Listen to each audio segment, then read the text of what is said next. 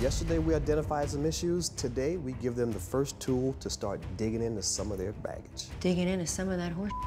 When you date or marry someone, you're just not in a relationship with them, but every person that came before them. You inherit a whole lot of horse. Oh my gosh.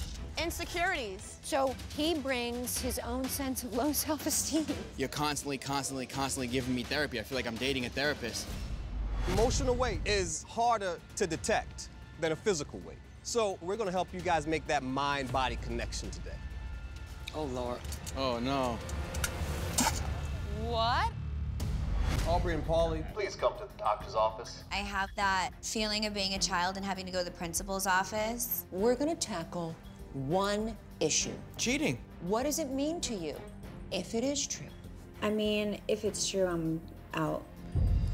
He wanted to participate in a drill, and the second that I said, Why would we do that when you're not being honest? He's like, Cool, so you're not participating? Okay, cool, and walked out. You're afraid of her.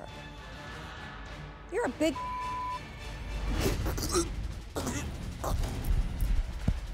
You okay, baby? Spit ass blood.